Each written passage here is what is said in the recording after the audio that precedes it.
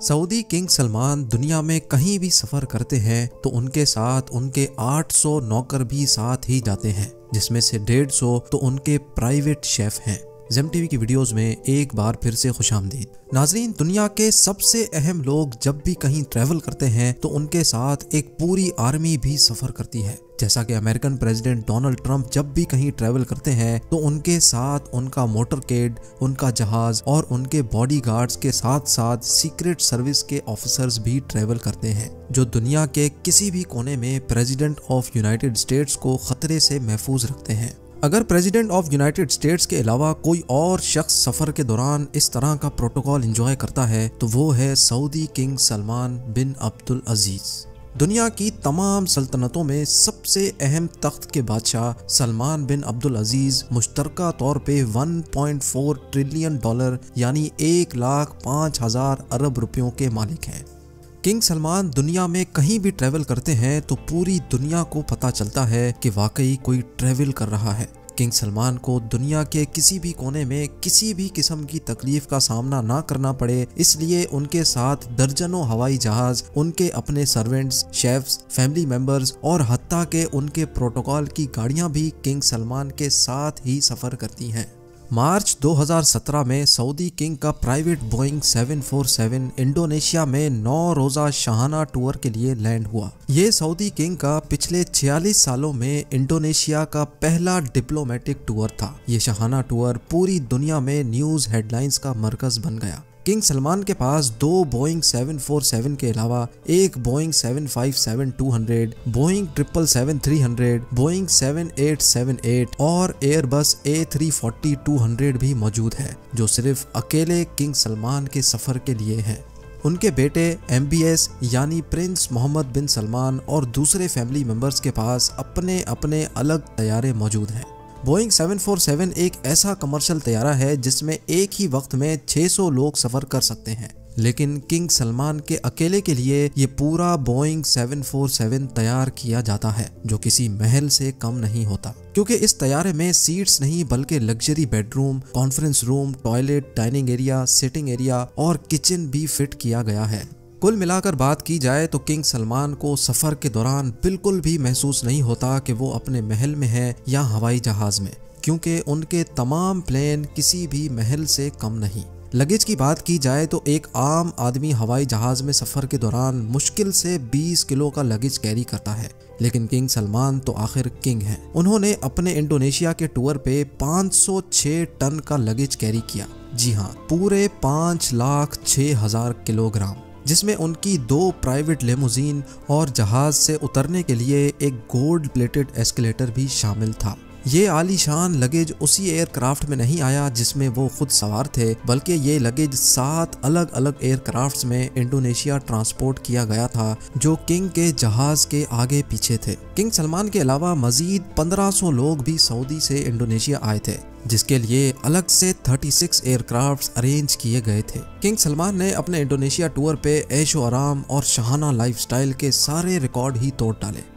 جس cargo company نے یہ سارا سامان سعودی سے انڈونیشیا ٹرانسپورٹ کیا تھا، ان کے مطابق اس سارے عمل میں انہوں نے پانچ سو ستر ورکرز کی مدد حاصل کی اور اتنے کم ٹائم پہ یہ کارگو کنگ کے ساتھ ہی انڈونیشیا ٹرانسپورٹ کیا۔ سعودی کنگ کے شہانہ سفر کی یہ کوئی پہلی داستان نہیں تھی۔ ان کے جاپان کے صرف چار دن کے ٹور کے لیے سعودی عرب سے دو گولڈن ایسکیلیٹرز دس ایئر کرافٹس اور hundred limousine cars king Salman کے ساتھ جاپان گئی تھی اور جاپان میں رہائش کے لیے کنگ سلمان اور ان کی پوری ٹیم کے لیے ٹوکیو کے سب سے بہترین ہوٹلز میں بارہ سو لگژری سویٹس بک کروائے گئے تھے۔ چند فائیو سٹار ہوٹلز کو تو پورا ہی خالی کروا کے ان میں صرف کنگ سلمان کے لوگ اور رشتہ داروں کو رہلایا گیا تھا۔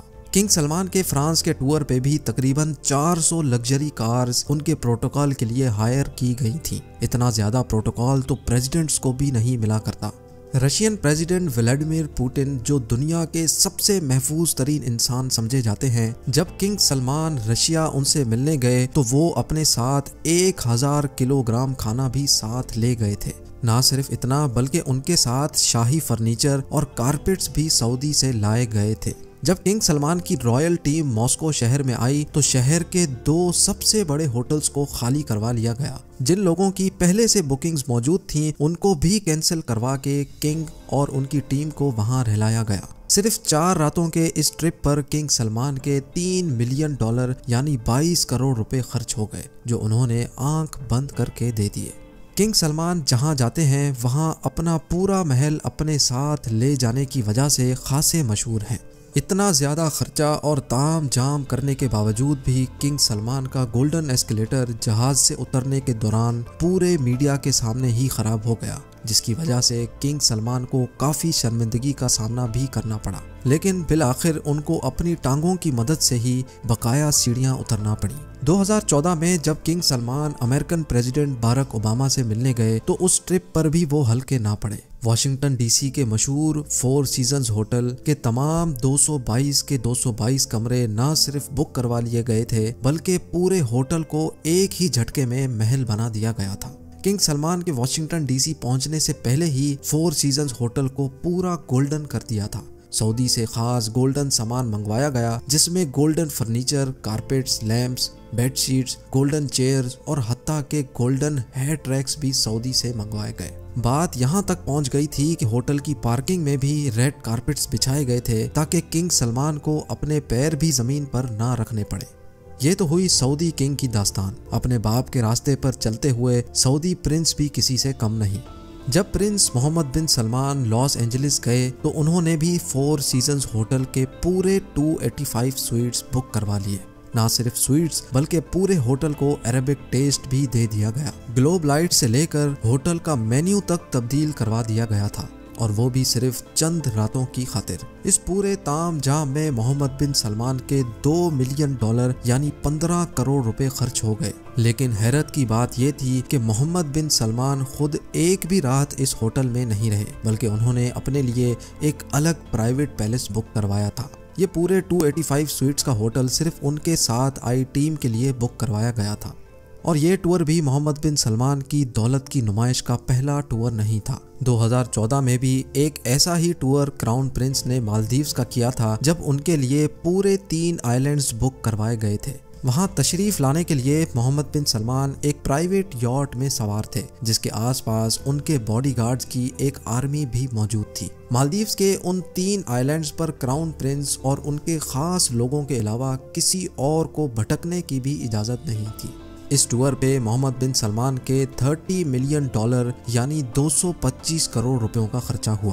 ناظرین، جاتے جاتے آپ کو یہ بھی بتاتے چلیں کہ کنگ سلمان بن عبدالعزیز نے دو ہزار پندرہ میں جب فرانس کا دورہ کیا تھا، تو وہاں ایک لاکھ لوگوں نے کنگ سلمان کے خلاف احتجاج کیا۔ کیونکہ فرانس کے بیچ پہ جہاں کنگ سلمان کا ولا موجود تھا، اس کو پبلک کے لیے بند کر دیا گیا تھا۔ اور پبلک بیچ پہ صرف کنگ سلمان کے اترنے کے لیے ایلیویٹر انسٹال کروائے گئے تھے۔ امید ہے زیم ٹی وی کا یہ ایپیسوڈ آپ کو اچھا لگا ہوگا۔ ویڈیو کے متعلق کمنٹ سیکشن میں ضرور کمنٹ کریں، کیونکہ میں ہر کمنٹ ضرور پڑھتا ہوں۔ ویڈیو کو لائک ضرور کریں۔ ملتے ہیں اگلی شاندار ویڈیو میں۔